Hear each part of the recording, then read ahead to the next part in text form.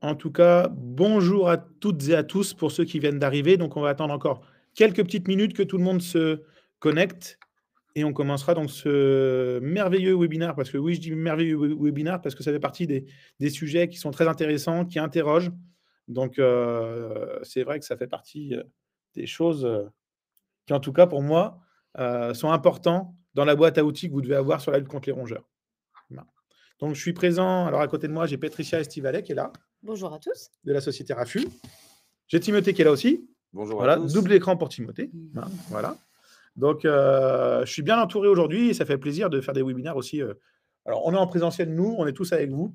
Donc, euh, c'est vraiment top d'être avec vous ce soir. D'ailleurs, aussi, on a hop, Framboise et Myrtille. Framboise et Myrtille qui sont là, qui font dodo. Voilà.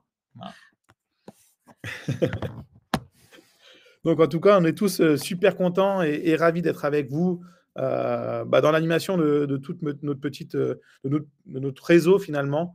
Euh, et c'est vrai que c'est toujours intéressant d'être toujours ensemble. Voilà, voilà. Alors on va attendre encore deux petites minutes, hein, histoire qu'il y ait encore quelques connexions. Et on abordera donc dans un premier temps le sujet global de la biologie. Je ne vais pas en refaire, hein, on en a déjà fait suffisamment. Il y a suffisamment de webinaires sur la biologie, donc je vais être très synthétique. Je vais reparler aussi de vos missions, hein, de pourquoi on, doit mener une dératisation. Hein. je vous parlerai également des différentes méthodes de lutte en fonction de la typologie de présence que vous avez. Et ensuite, Patricia et euh, Timothée reprendront la main justement sur cette bioprédation avec les furets, ce qu'on appelle effectivement le furetage, euh, qui est d'ailleurs une technique assez ancestrale. Mm. moi, j'ai connu ça à l'époque sur le furetage avec les lapins. donc, et Timothée rebondira, aussi euh, sur la bioprédation avec les rapaces également. Voilà pour l'objectif, l'organisation de cette soirée. Alors cette soirée, hein, on ne va pas finir non plus à 20h30, hein, mais en tout cas, on va passer un bon moment ensemble, ça c'est sûr. Alors, il est 17h30, on va donc commencer ce webinaire sur le furtage, donc en partenariat avec Rafu, avec Patricia et Timothée. Euh, Patricia, tu veux te présenter? Oui. Bonjour à tous, donc Patricia Estivalet, euh, RAFU, euh, dératiseur à la base, et puis euh, de, on va dire de carrière assistante vétérinaire, donc dans les animaux depuis un certain temps. Donc j'ai voulu faire de la dératisation via les animaux. La chasse de, au RAFU est ancestrale et a démarré au Moyen Âge, donc pourquoi pas continuer. Ils mmh. avaient tous de bonnes idées à l'époque. C'est ça. Merci beaucoup Patricia. Timothée, tu te présentes? Bonjour à tous, euh, je suis Timothée Josselin, donc je suis fauconnier professionnel, passionné du monde cinégétique depuis toujours, parce que je suis né dans le milieu de la, chasse et de la prédation hein, et de la bioprédation. Et euh, j'ai des furets depuis que je suis tout bébé, parce que je chasse le lapin avec des furets euh, et avec mes rapaces à la chasse au vol. Merci Timothée. merci à toi.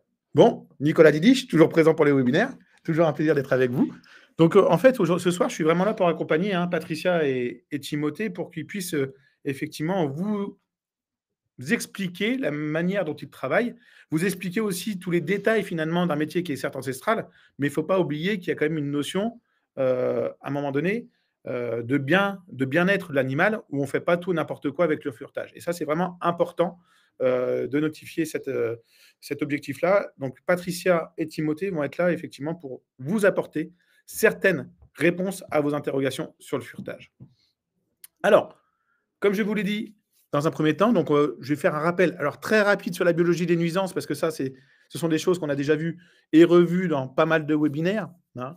Mais en tout cas, je vais juste remettre un petit peu le cadre avec ensuite les différentes techniques générales de l'aide contre les rongeurs.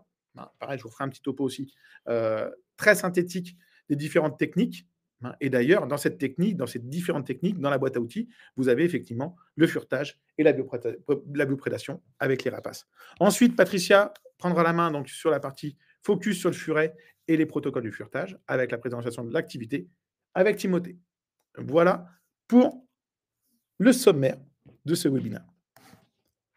Donc, dans un premier temps, rapidement, donc les espèces qui vont être essentiellement visées, on va essentiellement parler des rongeurs commensaux, même si dans le furetage, demain, on pourrait éventuellement voir ça euh, sur du campagnol s'il y a une possibilité. Hein. Sur le mulot, ça me semble un peu complexe hein, parce mm. que les terriers sont vraiment petits. Mais en tout cas, on va être essentiellement au niveau du furetage sur le rabrin. on va être clair avec vous. Donc, c'est essentiellement du rabrin, en sachant qu'il y a des notions de, de terrier, de galerie, ce qui favorise effectivement la notion de furetage. Globalement, dans les rongeurs commensaux, on a également la souris grise, le rat noir, qui seront, on va dire, deux rongeurs qui ne seront pas dans la cible du furetage. On est d'accord non. Voilà.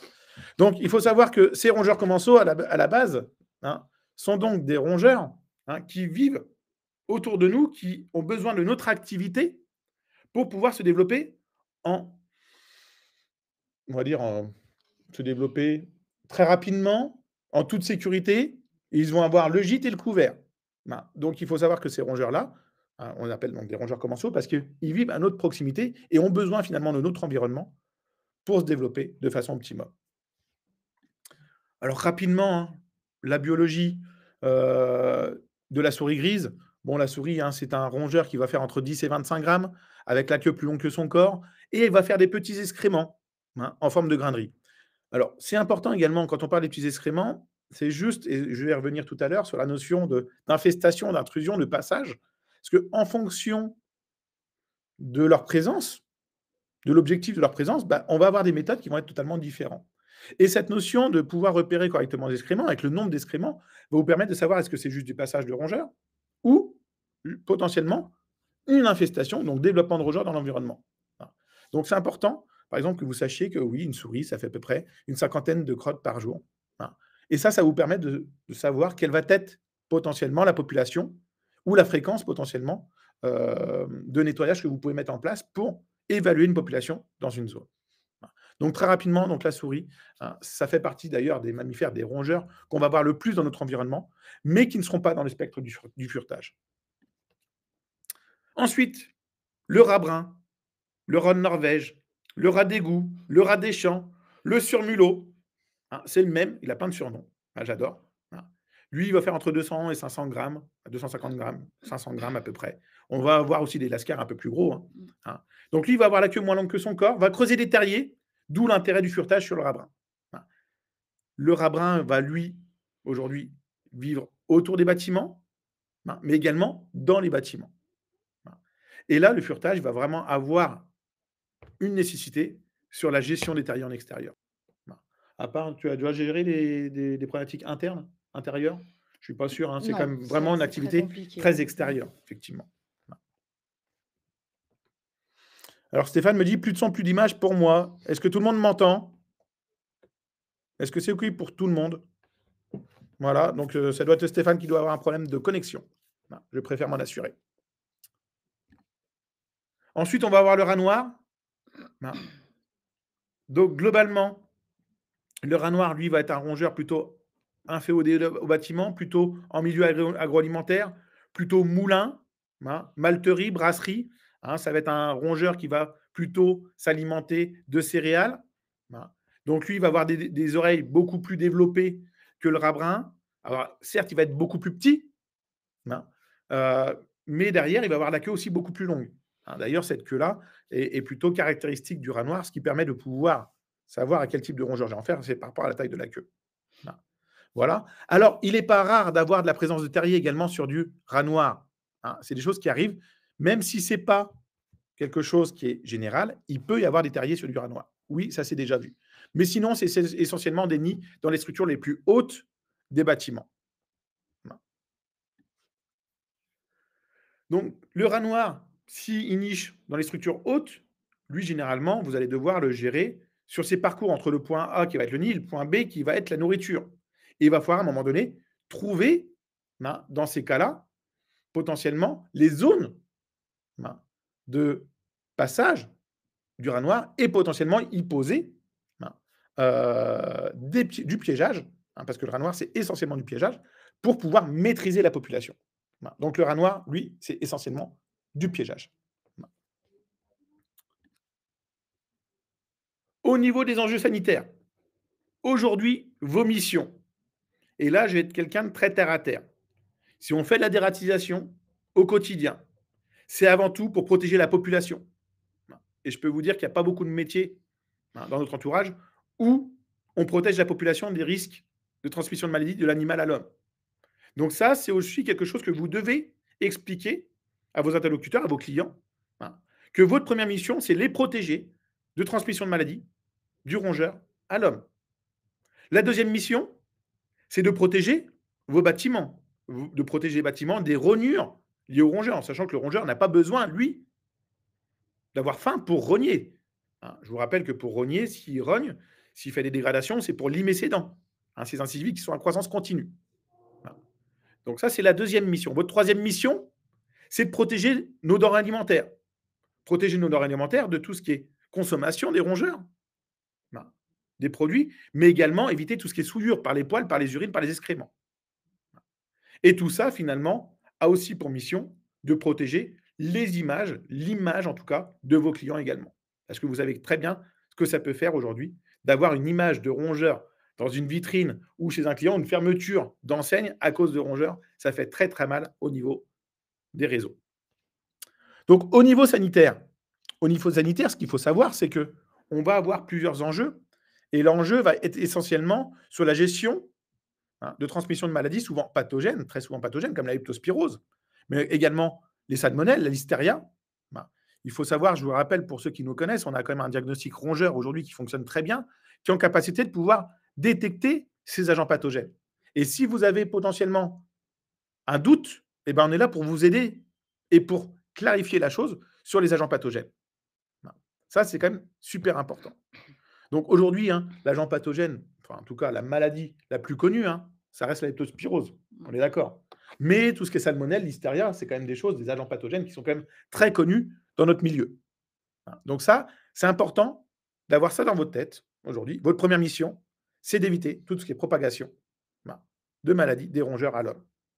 Et ça, c'est quand même une mission euh, qui vaut d'être valorisée. Et ça, en tout cas, moi aujourd'hui, mes missions dans le métier avec EasyPest, c'est ça, c'est vous valoriser pour que derrière, au niveau des pouvoirs publics, en tout cas, on soit aidé à reconnaître notre profession comme elle, doit l'être, en tout cas.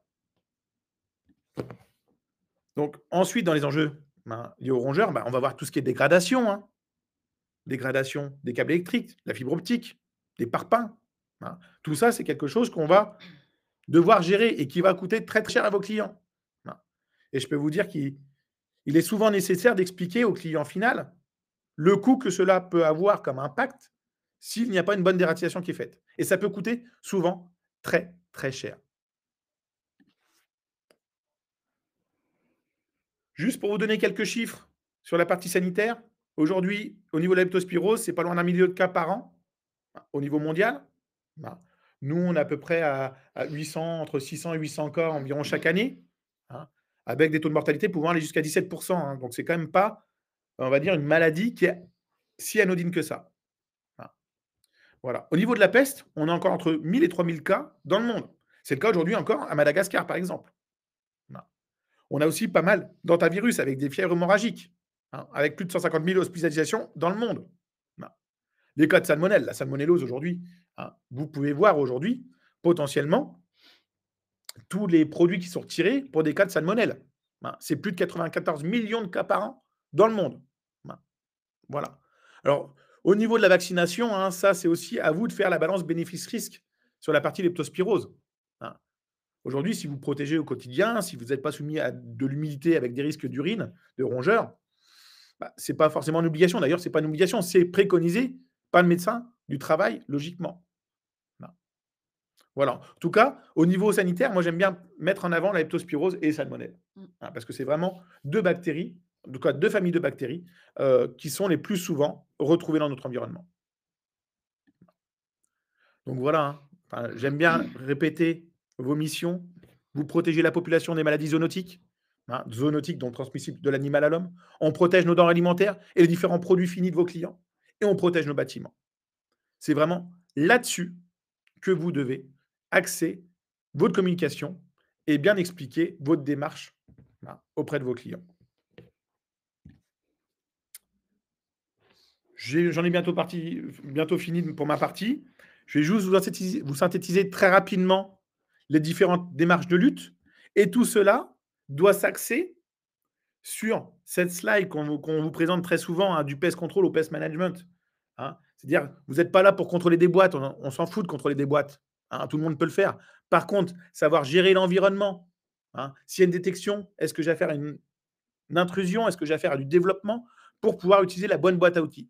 Et ça, ça passe systématiquement par la formation. Ben, et oui, je prêche aussi pour, euh, pour les IPES, il n'y a pas de souci. Mais aujourd'hui, la vérité, elle est là. Plus on est formé, plus on va avoir cette réflexion d'agir sur l'environnement, d'utiliser les outils les moins nocifs pour l'environnement et pour les espèces non cibles, hein, tout en parlant de souffrance animale. Et ensuite, on va aller au fur et à mesure sur les dispositifs, on va dire chimiques. Mais dans un premier temps, d'ailleurs, la bioprédation fait partie des luttes non chimiques qu'il faut mettre en avant. Je vous prépare, hein, on est en plein dans le virage sur la réduction des produits biocides. Hein. Et le virage, il faut le prendre aujourd'hui. Il ne faudra pas le prendre dans 5 ans, il sera peut-être trop tard. Quelle est la meilleure méthode dans un poulailler? Bah, Pas de poulailler. Mais, alors, je, rigole là-dessus, hein. mais effectivement, on a cherché aussi à ramener, on va dire, des activités rurales en zone urbaine, comme des poulaillers. On a aussi, essayé, bah d'ailleurs, vous avez la loi avec les composteurs. Les composteurs aujourd'hui sont aujourd'hui un des premiers vecteurs d'ailleurs de développement de moustiques tigres, mais également un des premiers facteurs d'attraction de rongeurs en zone urbaine. Donc, quelles vont être les meilleures méthodes pour les poyaler bah, Ça va être du piégeage, mais éventuellement, si vous avez des terriers, bah, le furetage est totalement adapté. Voilà. Donc, dans cette méthode de lutte, ce qu'on appelle la lutte intégrée, hein, il est impératif d'avoir le bon diagnostic. Hein.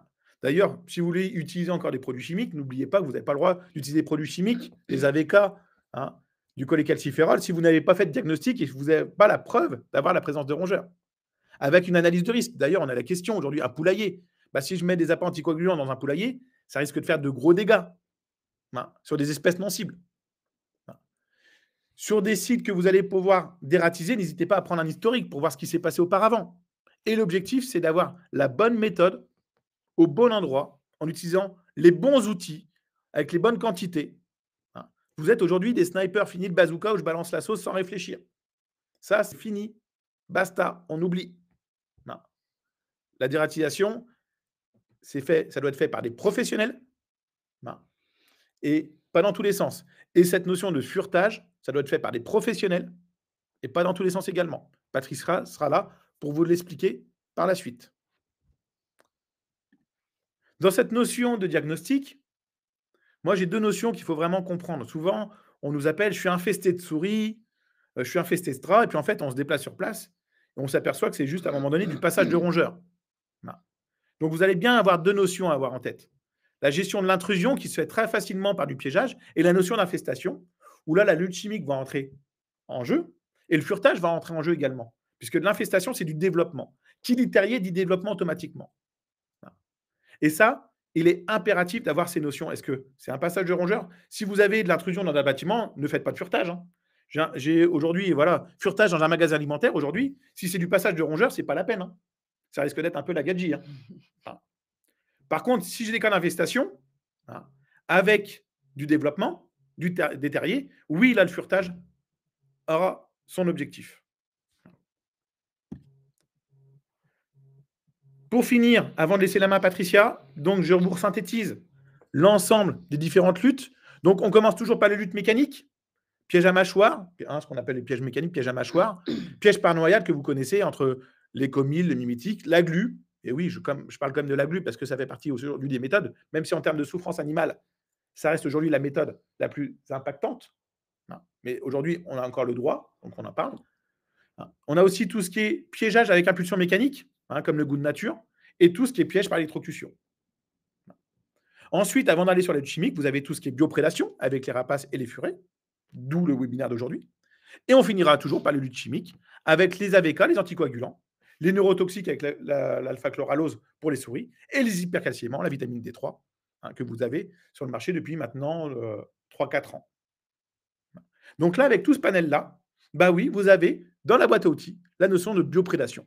Et c'est pour ça que j'ai Patricia et Timothée qui sont avec moi ce soir pour vous parler du furetage. Patricia C'est à moi. À toi. Alors moi, le furetage, raffut, on n'a clairement rien inventé. Hein, on pratique le, furetage. Euh, ça se pratique essentiellement en extérieur. Hein, pour être dératiseur, on ne va pas aller lâcher des furets dans un magasin, clairement. Euh, mais aujourd'hui, on le sait, hein, euh, si un, bâtiment est bien étanche, les rats ont du mal à rentrer. Mais ils sont quand même là, naturellement, en extérieur. Donc le but, avant de réguler, moi, avec des poisons, quand on me demande des communes, est-ce que vous pourriez, s'il vous plaît, mettre du poison dans des trous, dans des terriers? Non, pourquoi? Parce qu'il y a les chiens, il y a les chats, il y a les, enfants qui jouent à côté de tout ça. Et ça, je m'y refuse. D'où l'idée de, de du furetage, parce que quoi de plus naturel que de chasser avec le furet euh, dans les terriers. Donc, avec l'arrivée des composts, bah, c'est un régal, hein, parce que là, je pense que c'est la cantine euh, ouverte à tout le monde, ils le savent. Il ne faut pas oublier que le rat, quand même, est très intelligent, on le sait tous. Hein. Quand on va commencer à mettre une tapette, on va effectivement en avoir un, parce qu'il va être surpris. Mais les copains qui connaissent le terrain par cœur et qui vont observer le copain se faire prendre dans la tapette, bah, on ne les aura pas, ceux-là. Hein. Donc, euh, clairement, ça va, tout ce qui est piégeage mécanique, ça fonctionne, c'est super. Euh, mais on ne va pas avoir une colonie. Et quand on voit des terriers, c'est déjà qu'il y a du monde. Non, mais typiquement dans l'infestation. Voilà, on est dans l'infestation. Donc, pour réguler cette infestation, euh, avec les furets, ben, on, va quadriller hein, des petites zones. Euh, le but, c'est euh, le bien-être animal. Le bien-être animal, c'est pour le rat, le rongeur, qu'on va euthanasie, bien sûr, mais c'est pour le, chasseur surtout. Hein. On ne va pas faire n'importe quoi. On va respecter son rythme.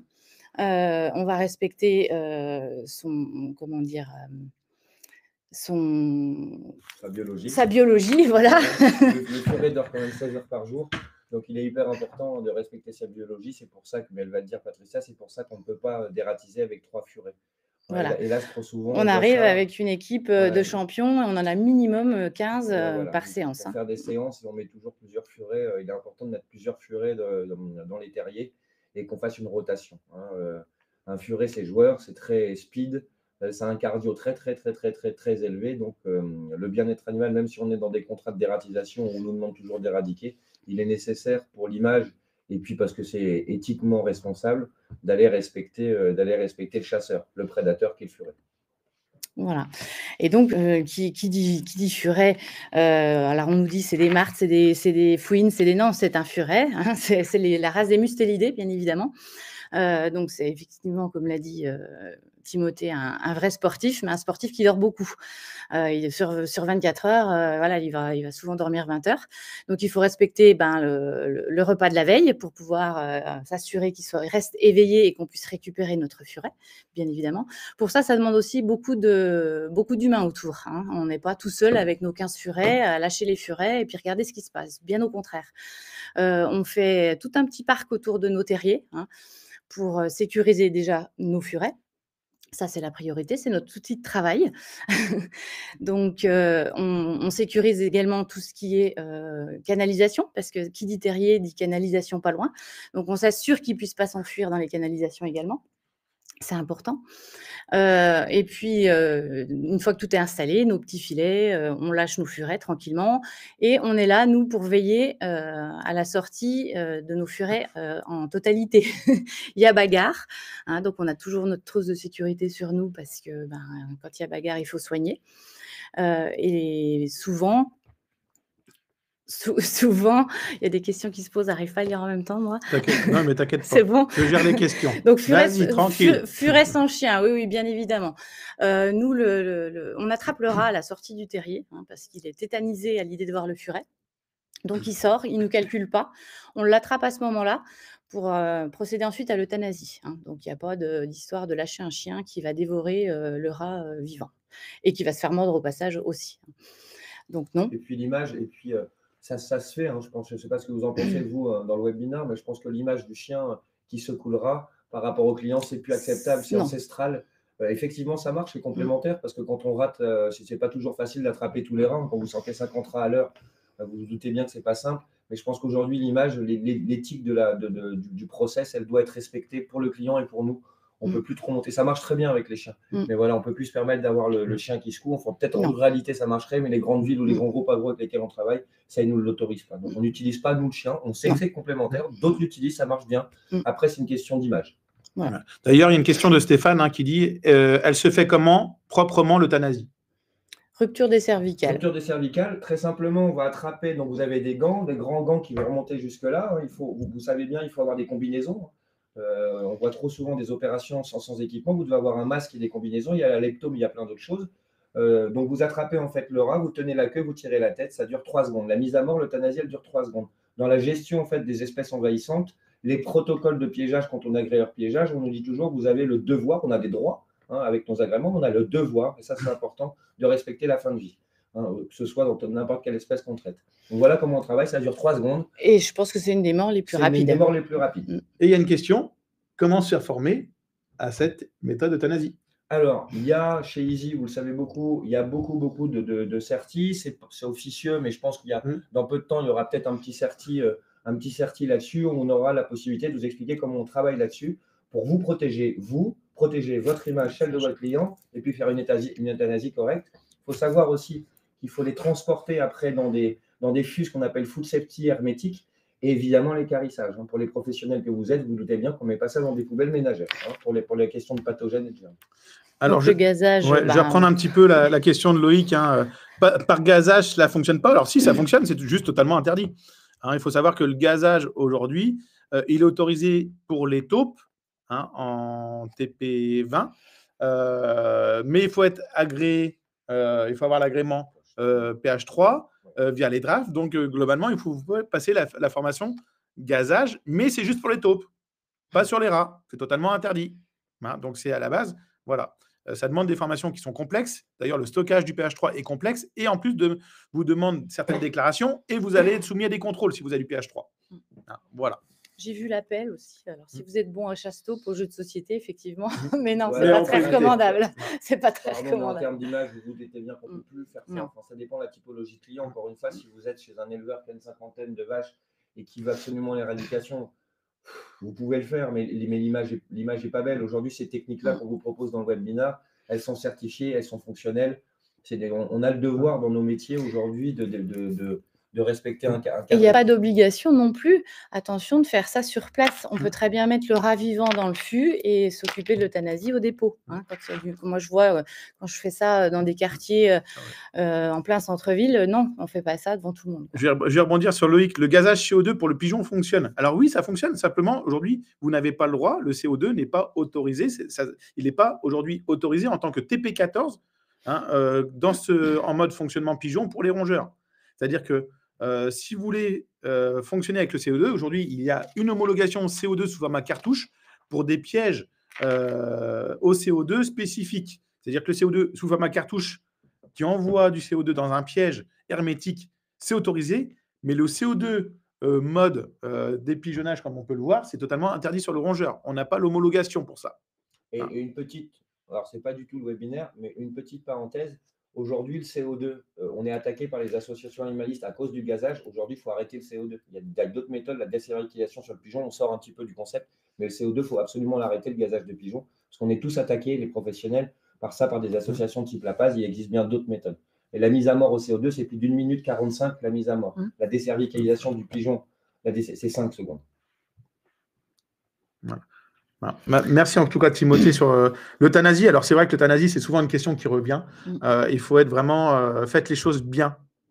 Voilà. Alors il y a une petite question, hein, Patricia et Timothée, vous intervenez sur toute la France? Oui. On a des agences.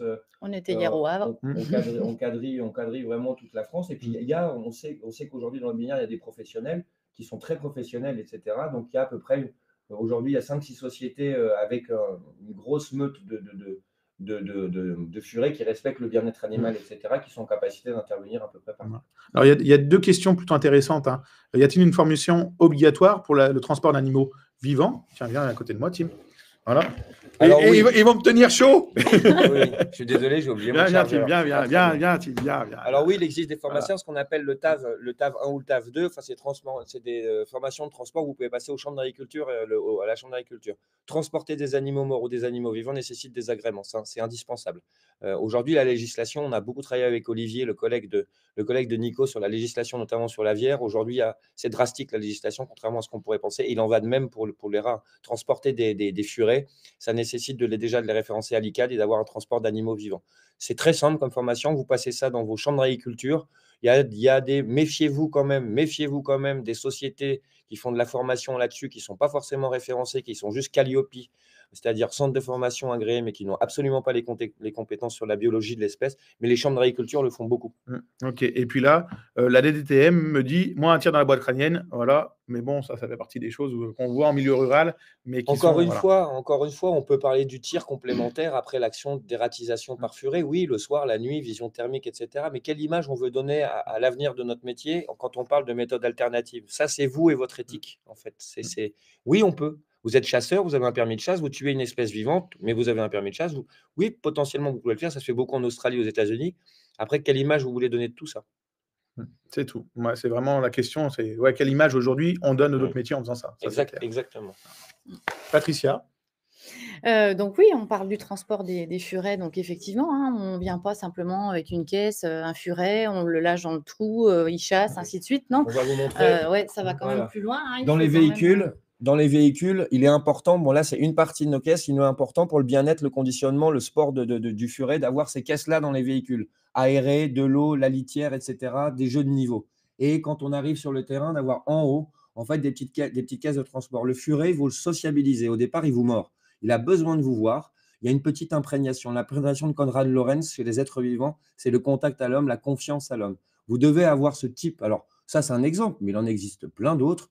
Il y a des aménagements qui sont faits par des partenaires confrères qui font des choses absolument merveilleuses. Mais voilà, il faut que vous les mettiez dans la véhicule comme ça et que vous les transportiez sur le terrain avec des choses comme ça. Ça, c'est conforme, ça, c'est conforme au bien-être animal et aux chartres, aux chartres éthiques qui ne sont pas encore bien établis, hein, mais qu'il va falloir qu'on établisse, mais qui sont conformes aux chartes éthiques. Voilà, oui, c'est pas un outil juste qu'on sort d'une boîte à outils puis qu'on range après la chasse, quoi. Hein. C'est euh, voilà, c'est un être vivant. C'est un être vivant et il travaille pour nous, donc on en prend soin. on a un registre avec les soins vétérinaires qu'on leur prodige et ainsi de suite. Ils sont vaccinés, ils sont pucés électroniquement. Voilà. Alors Patricia, tu peux nous parler un petit peu de, de, cette activité RAFU, mmh. un peu plus en profondeur, dans le détail? eh bien donc, le but, c'est pareil, c'est pas, «Tiens, il y a des terriers, je lâche mon furet», non. On va essayer quand même d'aller analyser ce qui se passe, sur le terrain et puis surtout veiller à ce qu'il n'y ait pas eu de poison, hein, de biocides, d'installer dans ces fameux, trous de terrier. Parce que qui dit poison, ben, les rats en ont peut-être ingéré, mais dit poison, dans le terrier, nous, le furet, il va aller s'infiltrer au plus profond du terrier. Donc le but, c'est de laisser passer une période de minimum 35 jours, sans poison, sans biocides, et demander à ce que les biocides soient retirés, bien évidemment. Et on fait un contrôle, hein, excuse-moi Patricia, mais il y a, y a, donc, de toute façon, il y a un audit préalable. On ne, on ne, vend pas de devis, vous le savez tous, vous êtes des professionnels, on ne vend pas de devis par téléphone. Non. Hein, sur des prestations, en tout cas d'infestations mm. comme celle-là, il faut se déplacer, on facture son audit, hein, il n'y a pas de sujet, on facture son déplacement, etc.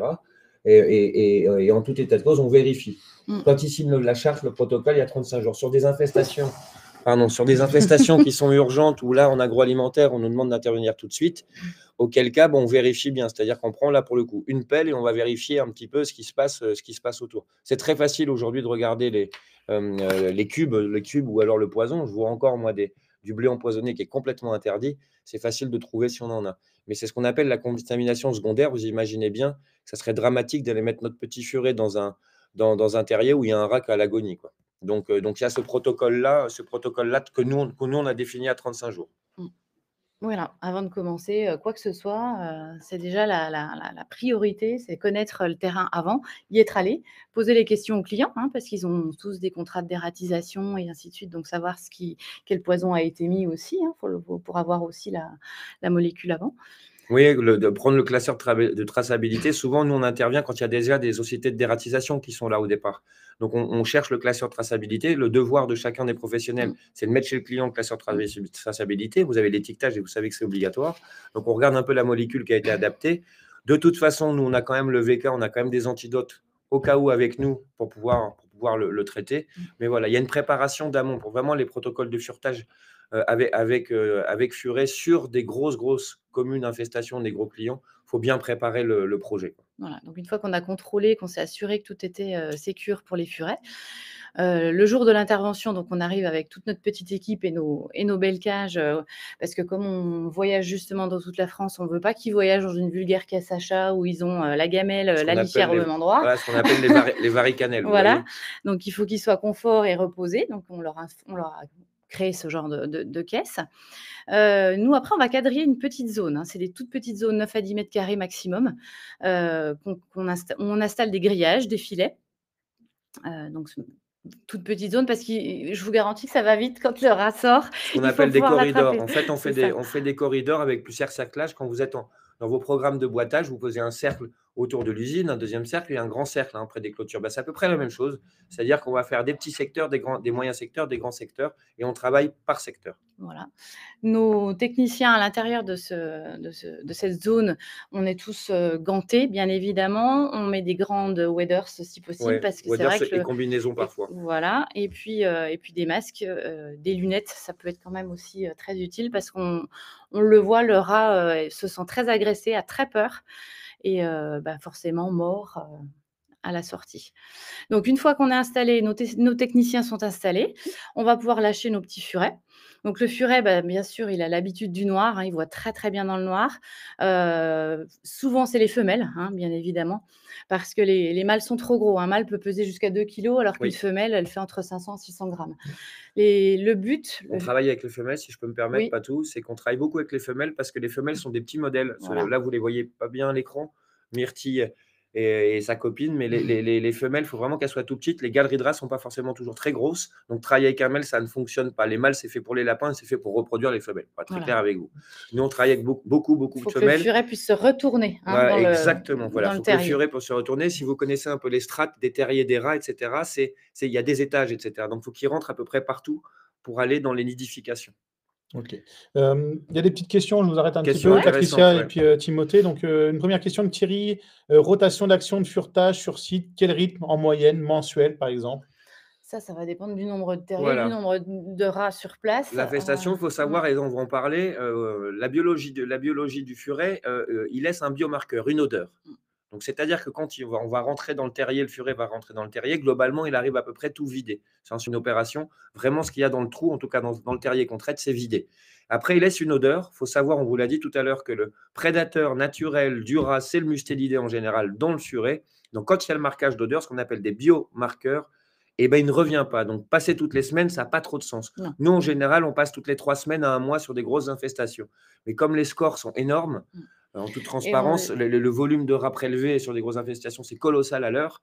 Donc en, général, ça, on, passe, on passe à peu près ouais, toutes les trois semaines, tous les, tous les mois. Ça dépend de l'infestation. Du jour au lendemain, ça ne sert à rien de revenir sur la même non, jamais. Ça ne sert à rien de revenir le lendemain ou le surlendemain. je ne sais pas si vous allez pouvoir répondre aussi à Frédéric, hein, qui donne à peu près, vu, vu que vous avez des, comme du furet, il y a de l'élevage, euh, il y a la notion de pucer, de vacciner, donc il y a quand même un entretien. Il demande, euh, ça, doit être un certain coût quand même, euh, le furetage. Donc est-ce que vous avez une, fourchette éventuellement ou je sais bah, pas? bah, Comme il y a un diagnostic, c'est mmh. difficile de vous donner un prix aujourd'hui. On, on peut vous donner des moyennes. Ça va pour les petites opérations de 750 euros à 1500 euros la journée. On peut vous donner cette tranche-là. Mmh. Ça va dépendre de la typologie du client, du risque dans la pyramide qu'on appelle de l'analyse de risque que vous devez connaître. C'est est-ce que c'est un risque sanitaire? Est-ce que c'est un risque d'effondrement? Est-ce que c'est un risque de ronger, etc. Le, fil électrique? Ça dépend un petit peu de tout ça et des moyens qu'on va mettre en place. Hein. L'humain coûte cher, la régie humaine coûte cher, les, les, matériels, ça dépend un peu de tout ça. Mais on va partir de les, prix adaptés, en tout cas à notre méthodologie. On part de 750 euros pour une demi-journée à 1500 euros la journée et ça peut monter si on est 15 personnes. Vous, vous doutez bien que pour des villes, on peut demander 5000 euros la journée mmh. si on est 15. Hein, si on doit traiter plein de secteurs, etc. Il y a des terrasses maintenant aussi souvent euh, aménagées, arborées. avec les, voilà, avec les, risques de fuite en, bas. je vais me permettre de répondre à Maxime qui nous dit euh, avez-vous déjà testé le furetage en magasin type euh, GMS, hein, donc la grande distribution? Maxime, en fait, tout à l'heure, on a bien expliqué justement cette notion d'intrusion et de développement, d'infestation. Et en magasin, on a souvent, en fait, c'est très rare d'avoir les terriers de, de rats dans le magasin. Souvent, ils viennent du réseau d'égout, ils viennent de l'extérieur. Donc, à l'intérieur du magasin, mmh, ce n'est pas forcément l'outil adéquat. Par contre, si en extérieur du magasin, tu as des terriers, oui, c'est une des solutions pour traiter les terriers hors du magasin. Mais si tu aujourd'hui tu lances tes furets dans un magasin juste parce qu'il y a du paysage de rongeurs. Non, puis le, le, furet, en fait, il a un naturel à s'enfouir, en fait. Mmh. Avec son museau, il aime s'enfouir dans quelque chose, il aime se cacher. Donc, dans un magasin où il va avoir une énorme surface autour de lui, mais vide, en fait, il va juste essayer de se cacher et puis ça ne donnera rien, quoi. Ça ne donnera strictement rien. Et est-ce que vous avez déjà perdu un furet pendant euh, C'est déjà arrivé. On touche du bois et du singe. On, arrive à les récupérer tous mmh. à chaque fois. Des fois, je vais vous donner un exemple. Ce n'était pas du rat cette fois-ci, c'était du lapin. On l'a récupéré une semaine après. Il y a des petites techniques qu'on vous apprendra, que Nico vous apprendra dans le certi qu'on fera. Il y a des toutes petites techniques justement pour récupérer le furet, etc. On vous expliquera plein de choses, mais ça sera, ça sera là, c'est un webinaire d'approche. Ça sera dans un deuxième temps pour vous, on vous donnera vraiment des, là, on vous donne déjà pas mal de billes, mais vraiment beaucoup plus d'éléments. Oui, parce qu'il ne s'agit pas de prendre un furet et puis de se dire, bah, tiens, je fais du furetage. Il hein. faut, un petit peu l'apprivoiser et puis oui, et, le conditionner. C'est ce qu'on appelle la sociabilisation. Au départ, il, au départ il, il mordent, il hein, faut être très clair. Mmh. Donc, il y a beaucoup de temps. Nous, on a des, des collaborateurs qui passent et on se fait mordre. Et tu passes tout le temps à. oui, c'est taquin les furets. Hein. La dernière fois, j'en ai fait les frais. Hein, tu disais un peu, clac, hein, comme un chat, clac, d'un seul coup. Hein. Euh, Ça mord. Ouais. Alors, il y a une question aussi de Thierry. Euh, sur une journée, cela peut être plusieurs zones de 9 mètres carrés sur un même site. Oui, oui, oui, c'est possible. Oui. oui, sans problème. Mm. Voilà. Mais il ne faut pas partir avec deux furets, hein, bien sûr. Combien dure l'apprentissage d'un furet avant qu'il soit. Euh, si vous avez passé plusieurs heures par jour, je dis bien plusieurs heures par, jour, Et, par, et par furet, en un mois, vous avez un furet. Euh, vous avez un furet qui est sorti de juvénile, ce qu'on appelle de jeune, vous avez un furet qui est en capacité de, mmh. capacité d'être sympa. Et après, il faut le créancer. Mmh. Hein, le furet, le, créançage, c'est-à-dire qu'il faut lui apprendre à tuer des rats. Donc il y a aussi cette partie-là d'apprentissage, de, de, on appelle ça le créançage. Comme pour les oiseaux. Comme pour les oiseaux. Ok. Tu as, d'autres choses à dire, Patricia, ou tu as fait un peu le tour euh, sur les grandes alors après, si, je voulais quand même revenir sur les mâles. Ils ne nous servent pas que à rien parce que le, mâle, le mâle il est gros, il ne peut pas rentrer dans les terriers, mais il sent tellement fort. Voilà, on, les laisse ça, ça c'est une dédicace pour Franck. Non? Voilà, c'est ça. non, mais, dédicace, euh... Franck, c'est cadeau. un mâle en rude, c'est juste insupportable comme odeur chez les furets. Euh, donc clairement, on les laisse se Une fois qu'on a fini notre séance, on les laisse se balader euh, au-dessus du, au-dessus des terriers. Et là, il laisse une empreinte olfactive euh, géniale, mmh. ce qui fait que le rat a définitivement plus envie de venir s'y, coller.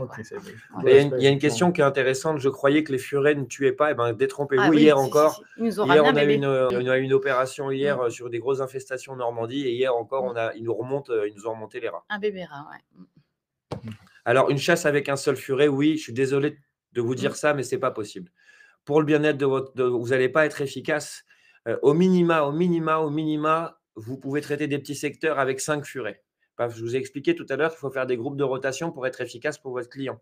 Hein, on a hélas trop vu des opérateurs qui avaient un ou deux furets. Mmh. Je ne vous dis pas le drame parce qu'il mmh. il, y a des blessures. On vous a dit tout à l'heure, nous on a la chance d'avoir Patricia qui sort des écoles vétérinaires, qui a fait son parcours. Donc on a les kits de soins, etc. Pour les professionnels qui sont connectés aujourd'hui, ils confirmeront ce que je dis. Il y a quand même pas mal de blessures, il y a des morsures. Donc, euh, un seul furet, vous devez le mettre après en quarantaine pour le soigner. Vous ne pouvez plus travailler. Quoi. Et puis, l'effet de groupe des furets. Hein, ça, crée vraiment. oui. On ne mélange jamais les mâles et les sachez-le, on ne mélange jamais non plus les mâles et les femelles chez les, chez les furets. Un peu comme chez les hommes, en fait. C'est une boutade, bien sûr. Et comme d'habitude, les femelles travaillent toujours mieux, n'est-ce pas euh, À part quand elles sont au volant.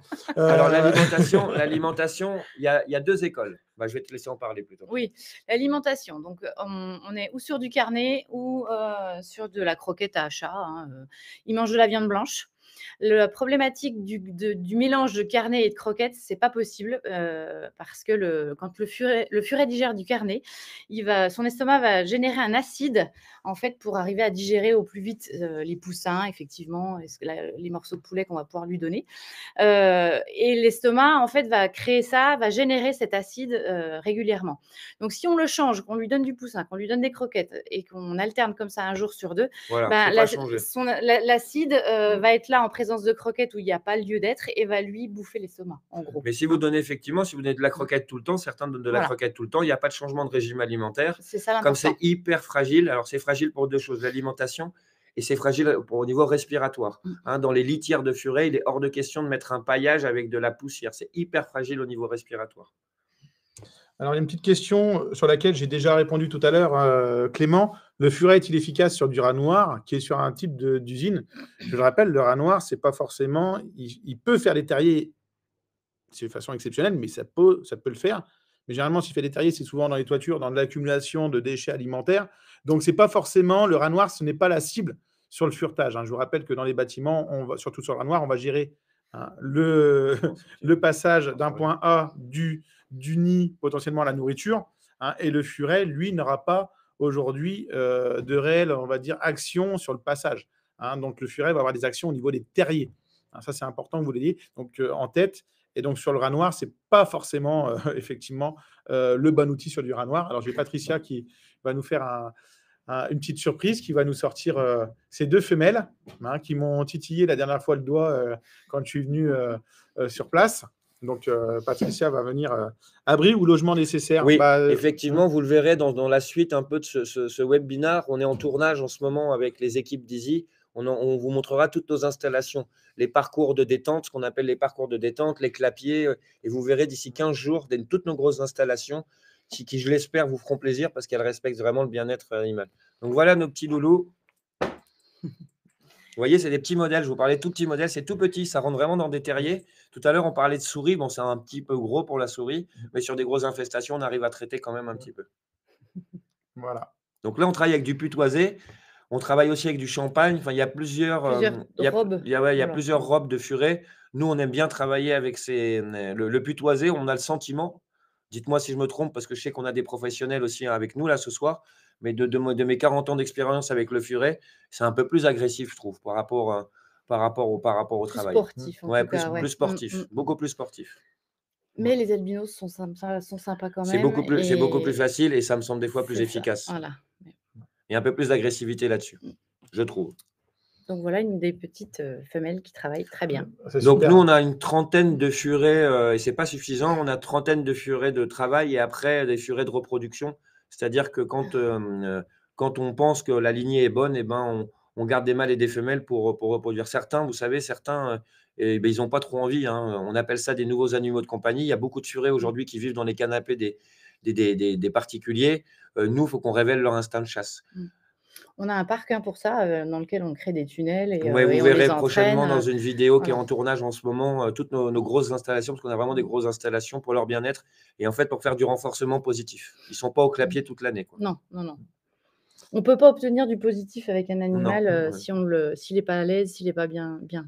Alors, euh, l'âge à laquelle il peut commencer à chasser, bah, c'est pas forcément un âge, hein, c'est surtout. euh, 9 mois, ouais, guerre avant. Et, hein. et- et après, après, il y a toute la partie, effectivement, euh, la- la- Dressage, euh, le- l'apprentissage, dressage, hein, les effectivement. la faire revenir, ouais. hein, parce que c'est pas le tout. Hein. Ils vont Oui, il y voir a- le terrier, mais euh, si, Ouais, il, y a un gros, il y a un gros travail avec soit du sifflet, soit des petits bruits, etc. Et il faut aussi pas oublier autre chose, c'est qu'ils ont besoin de reproduire. Donc, il faut, quand on vous dit qu'il faut connaître la biologie de l'espèce, quand elles ont ces chaleurs, si elles ne se font pas prendre, elles peuvent mourir. Voilà. Donc, pour ceux qui connaissent, ils, ils vont confirmer ce que je suis en train de dire. Donc, il y a quand même la biologie de l'espèce. C'est vraiment, vraiment, vraiment, vraiment à prendre en compte. Et, euh, et vous voyez que Patricia, elle y va pas main nue, hein, elle a quand même euh, une petite protection qui va bien. Parce, parce que, quand voilà, la demoiselle n'est hein, pas décidée, C'est euh, ça, c'est ça, c'est ça. hein. Vous Euh, voyez, pour en arriver là, pour les personnes qui connaissent, on y a passé beaucoup, beaucoup, beaucoup, beaucoup, Voilà. beaucoup de temps. Et elles me connaissent et elles me reconnaissent et, et à la voix et ainsi de suite. Parce que n'importe qui, là, la toucherait pas, mettrait pas les doigts. Quoi. Oui, effectivement, il y a les puces pour les chaleurs, bravo. Effectivement, il y a les, il y a les puces pour les chaleurs. sont- la plupart de nos femelles sont implantées, Donc, on a, on a- ils sont implantés. En fait, on a des couples reproducteurs qu'on garde. Mais effectivement, euh, effectivement on, on a les puces. Eh ben, en tout cas, merci à, à toi, Patricia. Merci à toi, Mais. Timothée. Juste en Oui, complément, vas-y. Euh, je parce que je suis plutôt reconnu pour les oiseaux. Alors, effectivement, on lance, un- on, on a fait des tests. Euh, le régime alimentaire, pour ceux qui me connaissent, savent que j'ai une grosse meute de bus américaine et on complémente aujourd'hui quand les, oies- les rats sortent du corridor. Et ben maintenant, sur des gros budgets, pour être honnête avec vous, on vient avec des oiseaux et comme ça, on laisse plus de rats partir. Donc, on a une question tout à l'heure de, de Thierry Suzanne que je, je salue, que je connais très bien de la coopération agricole. Effectivement, Thierry, si tu encore là, on travaille maintenant avec les oiseaux. Euh, moi, les miens, ils prennent à la tête le rade, il est muselé, donc il n'y a pas de blessure pour mes oiseaux sur les tarses, etc. Donc, on est en train de monter cette offre-là supplémentaire pour traiter des zones très, très, très importantes. Et tes oiseaux ont l'habitude de travailler. Et mes oiseaux ont maintenant l'habitude de travailler avec les furets, parce que je vous l'ai dit, je suis un passionné de chasse au vol, et pour ceux qui me connaissent, et je chasse avec des furets depuis toujours, donc ils ne vont pas attraper le furet. quoi. Ok.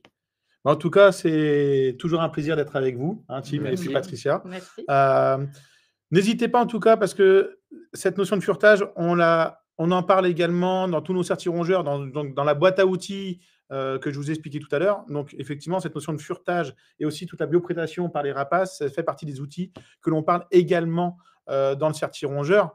Euh, où d'ailleurs on a quelques dates. on a un certi rongeur le 28 juin, le 18 juillet, le 19 août et le 6 septembre.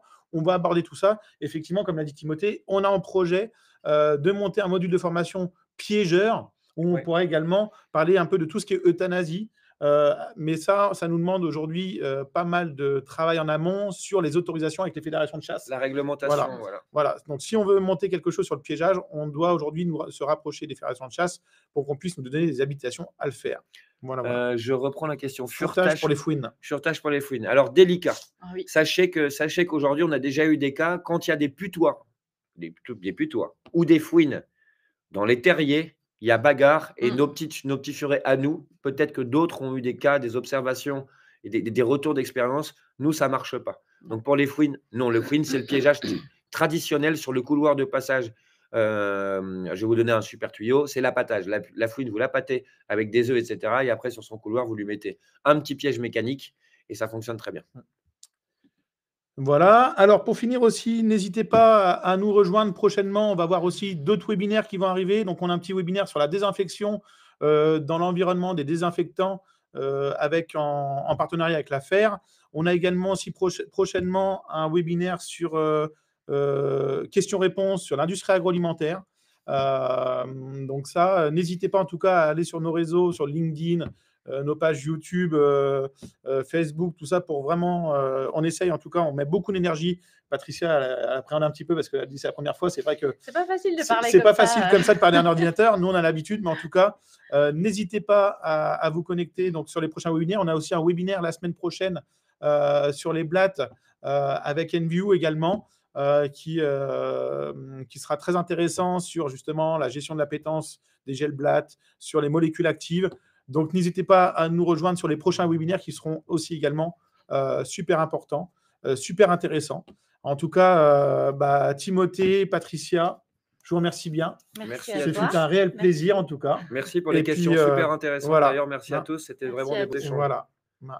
Donc, en tout cas, on est toujours heureux d'être avec vous et de maintenir ce, lien avec vous.